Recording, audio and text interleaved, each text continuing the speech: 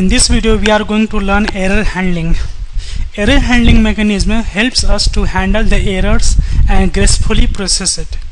The method level errors can be handled using try catch and the finally block. Now let us learn how to handle error in ASP.NET and how to handle multiple types of error as well. So in this how to we are going to cover two things. How to handle any error or how to handle multiple types of error as well. So in order to do that first let us um, create one label control where we are going to write our error that will occur in my page. So this is my label control and here is my page load event of the code behind so you can see that this is my page load event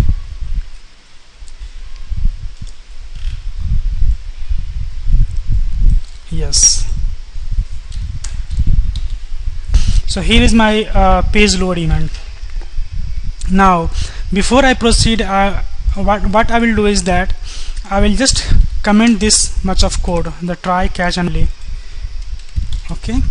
And now here we, what we will do is that we will add something like var result is equal to i divide by j and then we will write response dot write result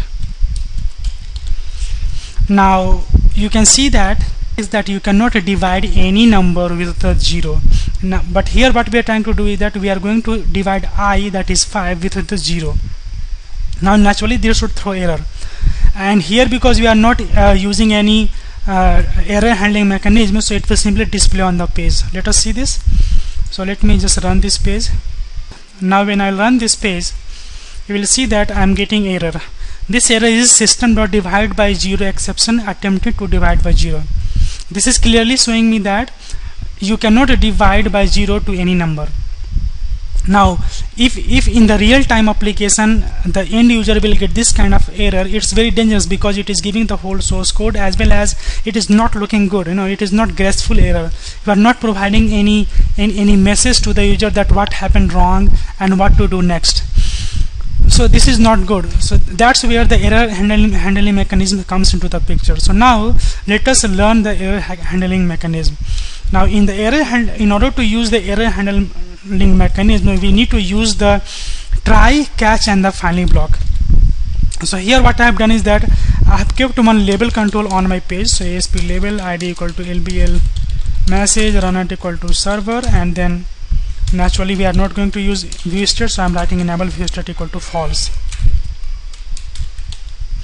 Now here what we need to do is that whatever code that we feel that can throw error we need to keep that particular code inside the try block. Now this error handling can be done using try and catch block. There is finally also we will discuss about that later on. So the idea here is that whatever code that you think may throw error should be kept inside the try block. So here what I feel is that might be the i oblique j can throw error because someone may try to divide any number by zero. That's why I have kept that particular uh, code inside the try block. And then I am simply writing the uh, result here. Now he, here because this is naturally uh, error prone code that will throw error and my expectation is that it may throw divide by zero exception. So first in the catch block we have used divide by zero exceptions. And then we have written one very simple error saying that sorry divide by zero is not possible. And then we are uh, no, if you want we can write something the actual error also or you can simply write the message so dot message so what it will do is that if the divide by zero exception will occur it means that if user will try to uh, input data that will come in the scenario where uh, he is trying to divide any number by 0 then it will come into this particular block. And if divide by 0 has not occurred any error has occurred because of some other kind of problem then it will come into this catch blocks.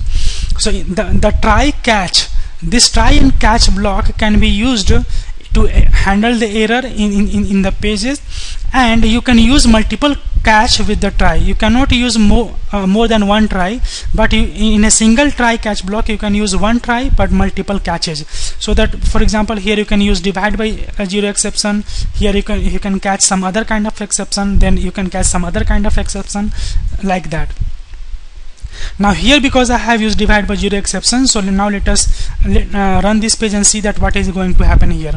Now when I will run this page you will see that I'm getting error sorry divide by 0 is not possible attempted to divide by 0 now this particular error message attempted to divide by 0 is coming because of this e dot message. Now if I will add e dot to string then I will get the complete error that has occurred you can see that it is giving me the complete error with all the code snippet and uh, at what line of code the error has occurred. So this much of thing is not in uh, good for the user but for the developer. So in, in generally we should provide the message to the user. If not then we can sim simply write our own custom message to display to the user. So here I have shown that how to write your custom message and how to write the message that actually will be thrown by the ASP.NET as well. Now because I have tried to divide by zeros I am getting this error. And because is cached into this uh, catch block so I, am getting here. Now let us put 5 and j equal to 1 this is naturally possible.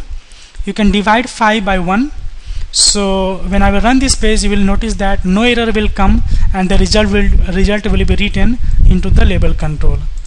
So if no error will come then naturally try block will execute and it will not come into the catch block. But if any error will occur then try inside the try block then whatever catch block have specified it will go into that series and it will fire if, if divide by zero exception has not occurred then it will actually come to this exception block. Because exception is the parent class from which all kinds of ASP.NET exceptions are inherited. Now you can see that there are many types of uh, exception classes. You can say access violation exception aggregate exception app domain un unloaded exception and so on. So you should all you should use these kind of exceptions like I have used here divide by zero exceptions based on the scenario you have. If you think that you will get uh, uh, execution engine exception then naturally you should keep execution engine exception here. If you think that you can get some other kind of exception for example uh, hold on uh, out of memory exceptions or object disposed exception or null reference exception then you can naturally uh, catch that kind of exceptions here. And ultimately if you think that uh, all possible exceptions you can't think of then you can simply catch the parent exceptions and throw the error. So this is the way to gracefully catch the error that may occur in your code and uh, gracefully uh, show a message or gracefully uh, handle the error now now the general best practices uh, using the try catch block is that you should not keep all the code of your method inside the try try block. You should only put that much of code that you think may throw error.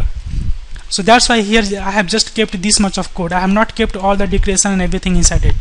This is the, just a sample but based on that you can uh, you, you, can assume the scenario in your real-time application so the code that you think that can throw error should be only kept in inside the try block. Otherwise all codes you can keep outside the try block